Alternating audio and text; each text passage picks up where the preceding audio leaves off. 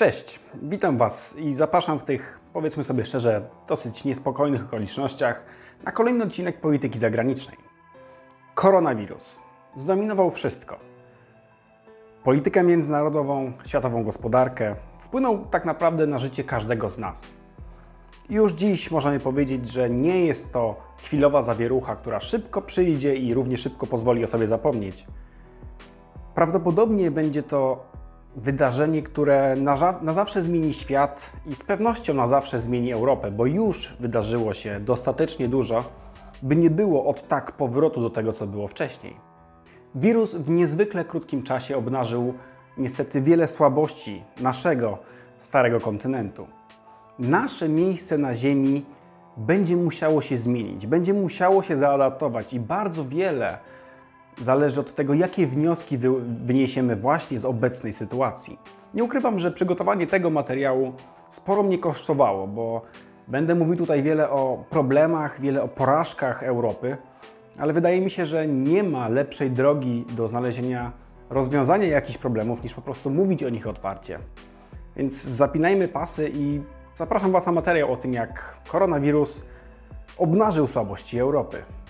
Na początku chciałbym zaznaczyć, że nie jest to materiał e, wymierzony stricte w Unię Europejską, choć niestety przez pierwsze kilka minut będzie można odnieść takie wrażenie. Zrzucenie wszystkich win tego, co się dzieje dzisiaj w Europie na Unię Europejską, stworzenie z niej takiego kozła ofiarnego to bardzo łatwe rozwiązanie i bardzo mylne rozwiązanie, bo problemy Europy są zdecydowanie głębsze niż tylko sama Unia Europejska.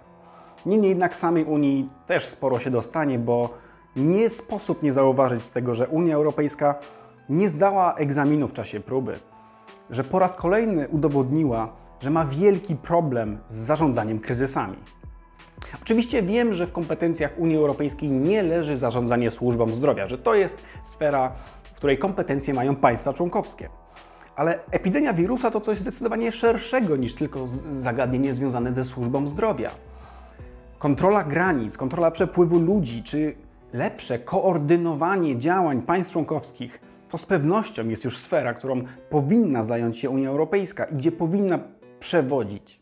Nie trzeba było dużo czasu, by okazało się, że kiedy trzeba szybkich i zdecydowanych działań, społeczeństwa europejskie mogą liczyć tylko na państwo, na swoje państwo i na swój rząd. I bardzo szybko okazało się, że wspólnota europejska czy solidarność europejska, takie piękne, trochę wyświechtane, powiedzmy sobie szczerze, terminy, w obliczu kryzysu niestety znaczą zdecydowanie mniej niż na co dzień. Bardzo dosadnie ujął to wicenaczelny dziennika, włoskiego dziennika La Repubblica, który pisze tak. Zabrakło i solidarności, i koordynacji, pisze Gianluca Di Feo. Smutna lekcja, której nie zapomnimy. Kiedy minie zaraza, nic nie będzie takie jak wcześniej. Unia musi się dogłębnie zreformować. I dalej, maski, gumowe rękawiczki i plastikowe okulary. To są pierwsze rzeczy, o które Włochy poprosiły Europę. O pomoc potrzebną do wzniesienia najprostszej bariery przeciw koronawirusowi. Nie dostały odpowiedzi, a Francja i Niemcy wręcz zabroniły eksportu. Włoskie społeczeństwo bardzo długo nie zapomni sojusznikom tej decyzji. Ale czy powinniśmy się dziwić? Czy powinno nas na przykład dziwić to, że Niemcy w obliczu załamania się włoskiej służby zdrowia zabroniły eksportowania tam tak potrzebnych im materiałów, tak potrzebnych im maseczek, rękawiczek itd. Tak Przecież każdy z nas w sytuacji realnego zagrożenia najpierw będzie troszczył się o swoich bliskich, znajomych, przyjaciół, rodzinę, a dopiero później zajmie się pomocą innym. I właśnie tak zadziałała Europa. Tak zadziałały państwa narodowe. I co nam to mówi o stanie, w jakim obudziła się Europa w ramach kryzysu związanego z epidemią? Mówi nam to przede wszystkim to, że Niemiec jest przede wszystkim Niemcem, Francuz Francuzem, Polak Polakiem, a dopiero później wszyscy jesteśmy Europejczykami.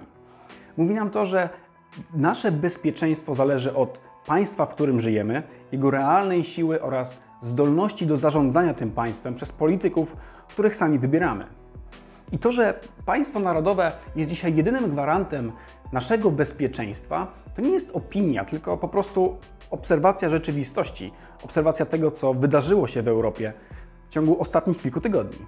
Brak koordynacji działań w obrębie Unii Europejskiej jest widoczny gołym okiem. Chyba najłatwiej to pokazać na przykładzie granic. kiedy Polska jako jedno z pierwszych państw zdecydowało się na zamknięcie granic, Unia Europejska czy Komisja Europejska krytykowała te działania. Jednak wkrótce później dołączały kolejne państwa. Dołączały Niemcy, Francja, Hiszpania, aż w końcu zamknięto też zewnętrzne granice całej Unii Europejskiej.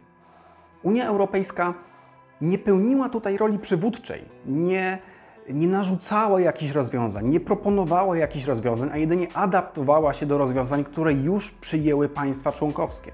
I jakby z czego wynika ten brak przywództwa w Unii Europejskiej, kiedy mamy do czynienia z kryzysem globalnym, a w naszych warunkach z kryzysem o, o zasięgu całego kontynentu? Czy to wynika z nie wiem, niejasnego, niejasnej formy wybierania przywódców Unii Europejskiej, czy może po prostu z tego, że obecne przywództwo Unii Europejskiej jest niedoświadczone, gdyż te stanowiska zajmuje tak naprawdę od niedawna. Naprawdę nie wiem, ale Unia Europejska powinna wyjść z roli tylko administratora w ramach tak wielkiego kryzysu, który dotyczy każdego Europejczyka.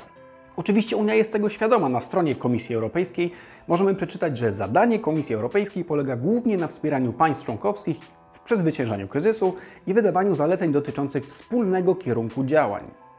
No coś więc poszło nie tak, bo skoro państwa członkowskie Unii Europejskiej, często sąsiadujące ze sobą państwa członkowskie Unii Europejskiej, podejmowały zupełnie inne decyzje w zupełnie innym czasie, oznacza to, że koordynacji ewidentnie zabrakło. Niestety mówi nam to to, że w sytuacji kryzysowej bardzo szybko przestaliśmy być utopijną wspólnotą, a wszyscy ponownie zjednoczyliśmy się w obrębie swoich państw. Wszystkie modele przewidywania, jak rozwija się epidemia, są zgodne pod jednym względem, że szybkość działania, szybkość podjęcia decyzji o tym, jak przeciwdziałać, jest tutaj kluczowa, że każdy dzień zwłoki przynosi wymierne, wymierne straty.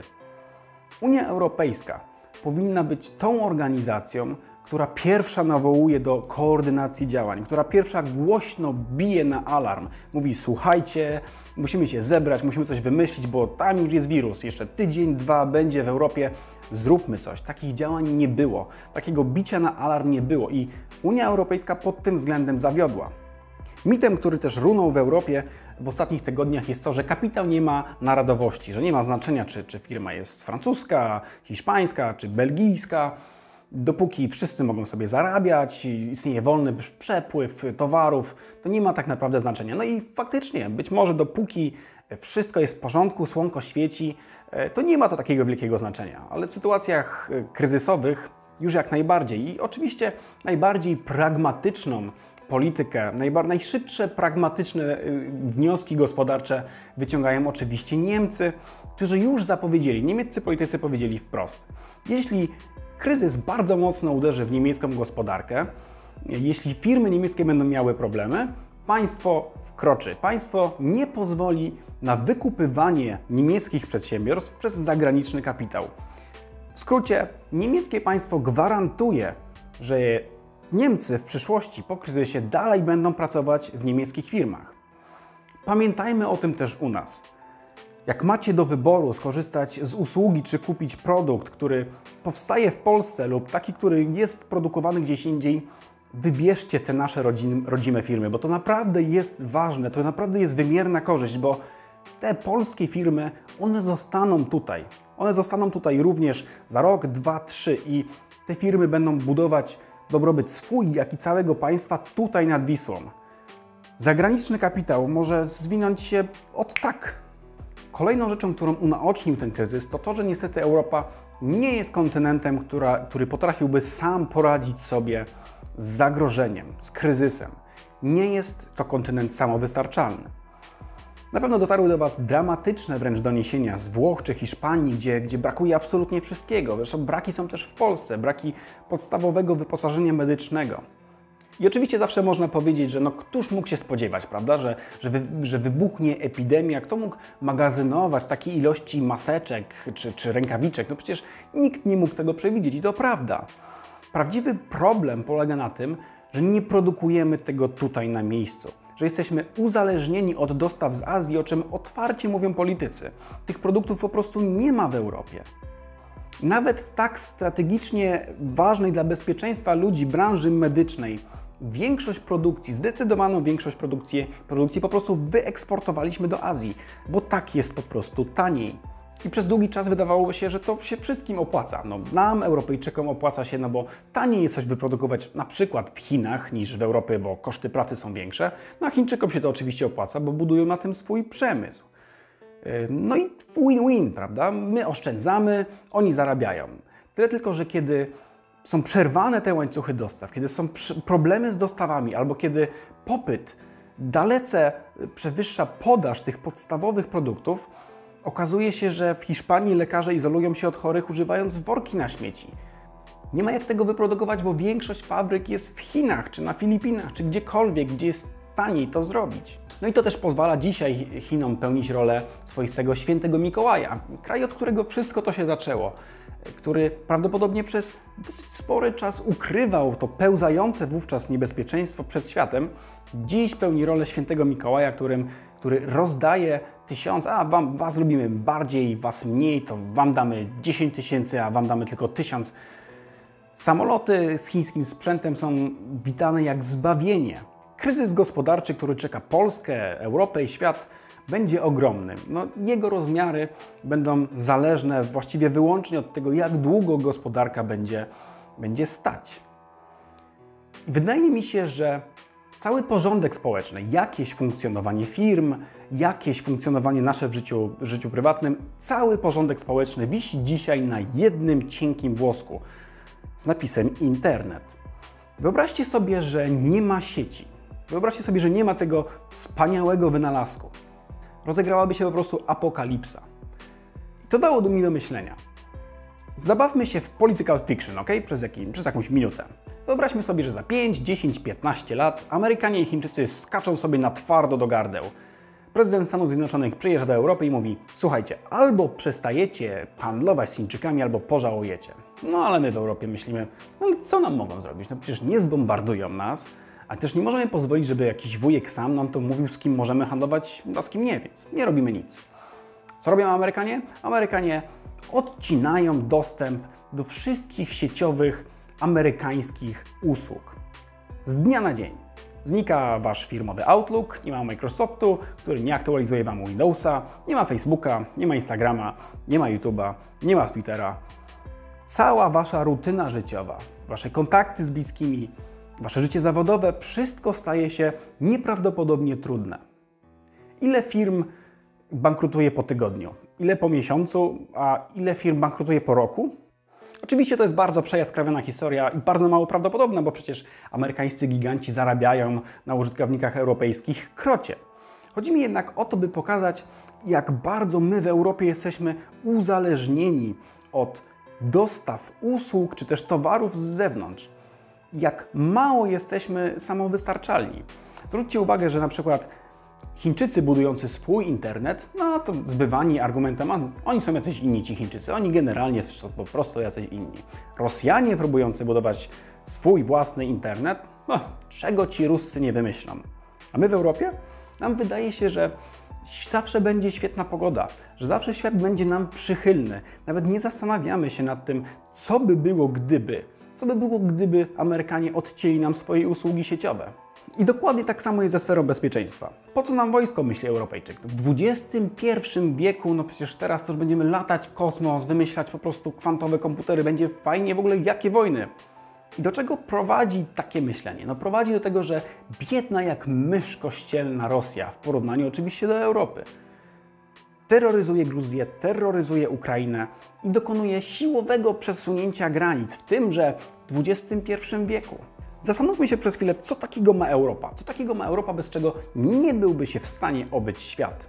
Od czego świat jest uzależniony i co pochodzi z Europy. I od razu zaznaczam, że nasza wspaniała kultura, wielka historia, wszystkie zabytki, a nawet piłkarska Liga Mistrzów się nie liczą. Chodzi tylko i wyłącznie o takie zasoby, które w sytuacji kryzysowej okazują się niezbędne do przeżycia, do przetrwania, do funkcjonowania normalnego. Czy jest to technologia? Nie. Czy wojsko? Nie. Żywność? Nie. Energia? Nie. To co? To co ma stanowić o sile Europy? Co ma być ubezpieczeniem dla przyszłych pokoleń Europejczyków, że Chińczycy nie zrobią tego, a Amerykanie nie zrobią tamtego, bo my, Europejczycy, możemy zrobić No właśnie, co? Co ma stanowić o sile Europy w przyszłości? Ależ się ten nasz stary kontynent rozleniwił. Tak jakbyśmy żyli w takiej łudzie, podszytej poczuciem wyższości, że przecież to my, Europejczycy, daliśmy fundamenty pod ogólnoludzką, globalną cywilizację, że to nasze języki, nasze normy, nasze zasady, nasza mentalność została rozpromieniona po świecie w procesie globalizacji, że to od nas się wszystko zaczęło. I jakoś umyka nam to, że może od nas się zaczęło, ale, ale inni wyprzedzili nas już dawno, dawno temu i dziś ciężko jest naprawdę, ciężko jest pomyśleć o takiej strategicznej dziedzinie życia, czy to od właśnie dostępu do podstawowych dóbr medycznych, czy jeżeli chodzi o energię, czy jeżeli chodzi o technologię, gdzie Europa byłaby samowystarczalna. Ten wielki, wspaniały kontynent jest dziś uzależniony od wszystkich dookoła. I wszystko to napawa mnie autentycznym strachem, bo Europa była, jest i zawsze będzie naszym miejscem na Ziemi. Ale to miejsce na Ziemi potrzebuje fundamentalnych zmian w tym, jak w ogóle postrzega rzeczywistość, świat dookoła i jak widzi swoją rolę w tym świecie. Bo dziś Unia Europejska przede wszystkim jest projektem, który działa doskonale tylko gdy pogoda geopolityczna jest doskonała, gdy słonko świeci, gdy wszyscy mogą spokojnie zwiedzać Watykan czy Louvre. Wtedy Unia Europejska działa. Natomiast wspólnota po raz kolejny pokazuje, że bardzo, bardzo słabo radzi sobie z zarządzaniem kryzysami. I gdy te kryzysy następują, to państwo, to państwo dalej jest tym ośrodkiem władzy, na który musi zdać się Europejczyk, na który może liczyć Europejczyk. Ci politycy, nasi politycy, których wybieramy, oni odpowiadają za te swoje czyny przed społeczeństwem w demokratycznych wyborach. Być może zauważyliście, że swoje materiały staram się kończyć raczej jakimś optymistycznym akcentem. No to wynika po prostu z tego, że generalnie raczej jestem optymistą. Jednak tutaj w tym przypadku bardzo ciężko jest zdobyć się na optymizm, bo czy Europa jest w stanie się zmienić? Czy Europa jest w stanie odwrócić ten trend, w którym z dekady na dekadę znaczy coraz mniej, jej znaczenie w stosunkach międzynarodowych jest coraz mniejsze i ma coraz mniejszy wpływ nie tylko już na innych, ale też na swoje własne losy, bo te zaczynają zależeć od innych. Jeżeli na siłę miałbym się zdobyć na jakiś optymizm pod koniec tego materiału, to może powinno być to to, że trudno o wyraźniejszy sygnał ostrzegawczy. Trudno o bardziej doniosły okrzyk: Europo, halo, obudź się. Dziękuję Wam bardzo za uwagę. Bardzo dziękuję Wam za wsparcie. Dziękuję y, za wszystkie Wasze komentarze i zapraszam Was do komentowania również tego materiału. Zostańcie w domu, trzymajcie się bezpiecznie. Do zobaczenia i cześć.